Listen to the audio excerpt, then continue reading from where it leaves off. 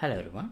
So today we are going to work on how to customize uh, effects and attributes of different types of swords uh, that we implemented last time. So that means here we have last time we implemented the sword called fencer and glimmer the that are child classes so that are that belongs to the same one-handed sword class uh, but they need to have different gameplay effects such as uh, the radius damage radius and heavy damage and light damage stun effect. So what i'm going to do today is in the base weapon class i'm gonna add these uh, variables damage radius and gameplay effect for heavy damage and gameplay effect for light damage and stun effect so that we can customize these gameplay effects and the attri and attributes in the weapon blueprint itself and they will be dynamically retrieved when the gameplay ability attack sword is activated in the runtime and those uh, effects that are retrieved from the weapon will be applied on the enemies. So in this way we will have a simpler way to customize the uh, customize properties and effects of different types of weapons. So here now we have like always we have the great sword and the glimmer and fencer and basic sword. And in the inventory we can equip whatever the weapon we need we have collected. We can switch to whatever the weapon we want. And based on the weapon the damage amounts and the applied gameplay effects for the enemies who get hit by these weapons will be changed. So this is what we are going to work on. Alright. So before we get started I'd like to remind you you can download the project files of this project and all other thousands of projects that I have done from the Patreon page. Uh, once you become a member, you can download anything without a limit. I'll leave the link to the project files in the description. And this is a part of this action RPG with gameplay ability system series. So here you can watch all other episodes as well for free in my channel I'll leave the link to the full playlist also in the description below. Right and now let's get back to today's tutorial.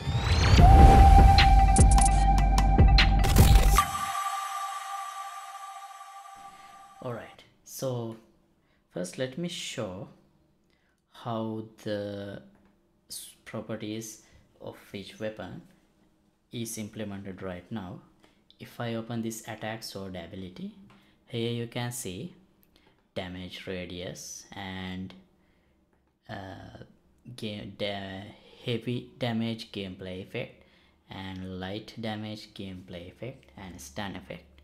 So you can see these things are included in the attack sword gameplay ability. So this attack sword gameplay ability is granted to the character when the character equip this sword. So now that I have multiple sword types here weapons you can see I have this basic sword and the fencer and glimmer. Because these are child classes of the base sword basic sword uh, these weapons also contains the same gameplay ability attack sword. So they also have the same damage amount same rare damage radius and same damage gameplay effects.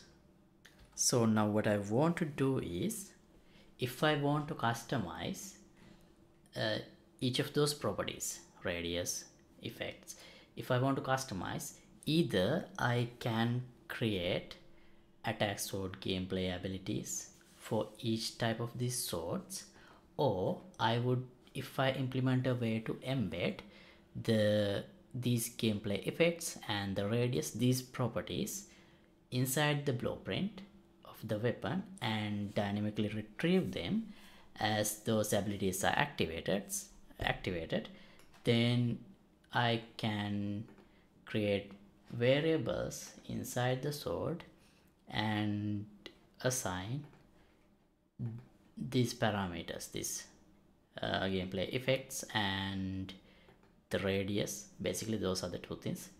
I can define them in the blueprint itself. So that's the approach I'm gonna try now. So let's start with I don't want to change anything that I have already implemented in this gameplay ability. So I'll simply define these in the sword and then at the beginning of this gameplay ability activate I'll retrieve those properties from the blueprint. So yeah damage radius. What's the default value here? It's 80 uh, let me copy this. And this is I think it would be better if I implement this in the base. Even though some weapons like shields may not have a reason to have damage effects.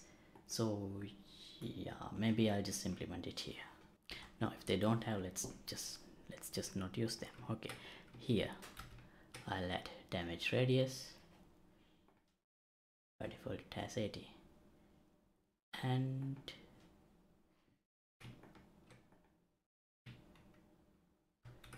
damage heavy. Oh sorry. Copy and paste. That's what I'm doing here. Control C. Select the variable section. Control V. Um, stun effect. Control C control V okay. Now these default values are also assigned. So now need to change them. Now here in the weapon base I have implemented this BPI weapon. And from this I'll add a function. Get weapon data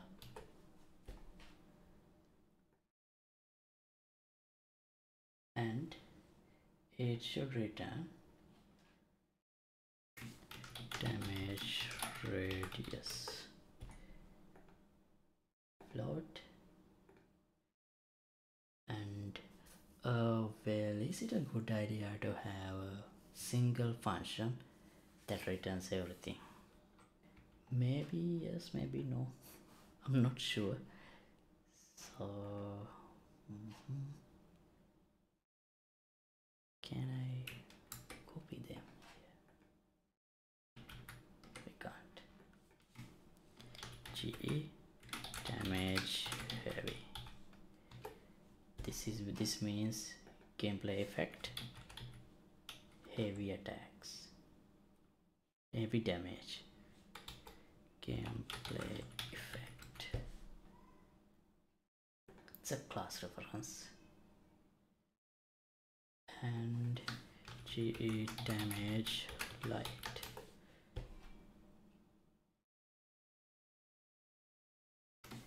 GE stun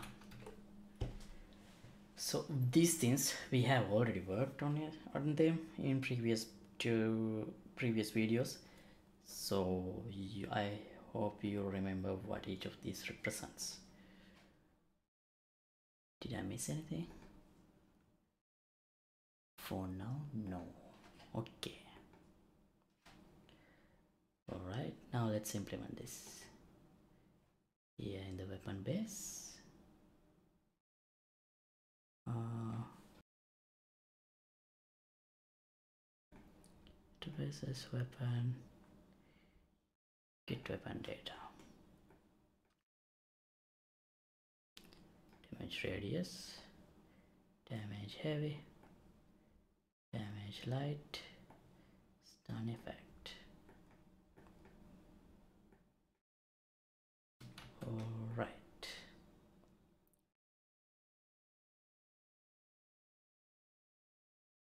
now let's go here. I'll add a new function. What should I call it?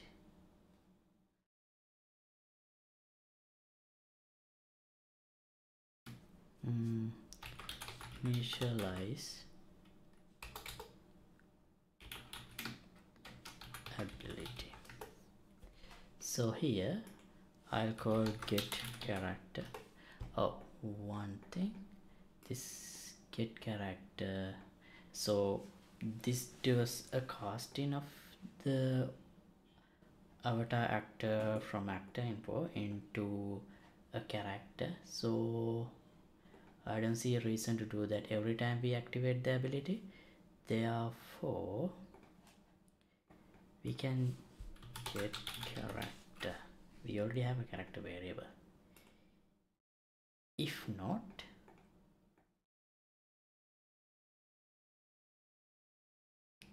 we can initialize this.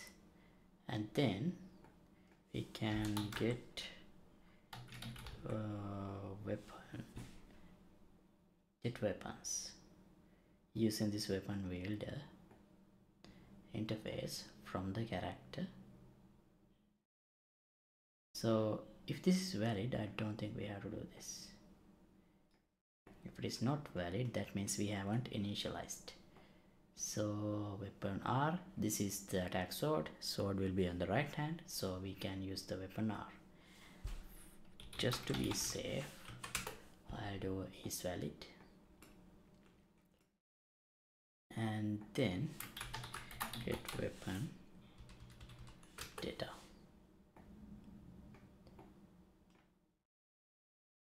right and from here I can assign damage radius within this. And uh, damage heavy damage light and stun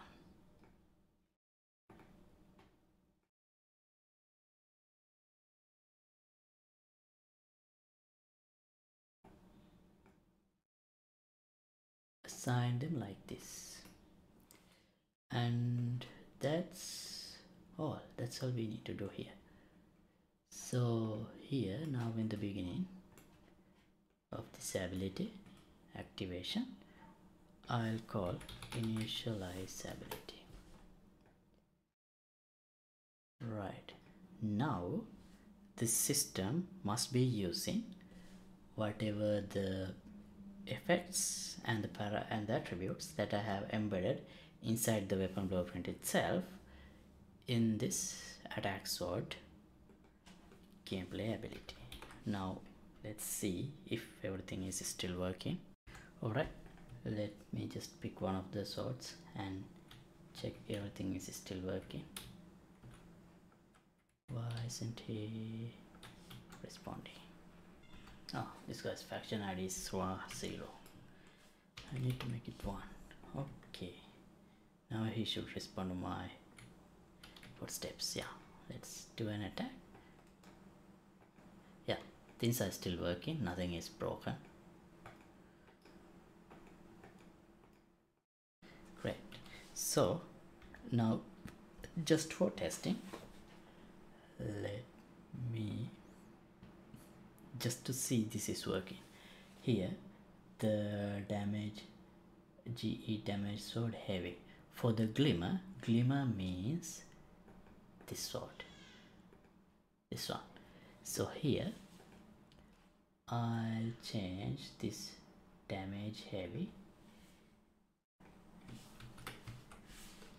Heavy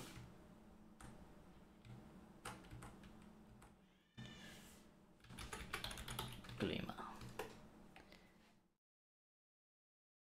let me increase this to a large value let's say like minus 200 that should instantly kill. If the enemy got hit by a heavy attack. It did oh sorry I didn't assign it. So let me assign this to the glimmer. As the damage sword heavy. Gameplay effect.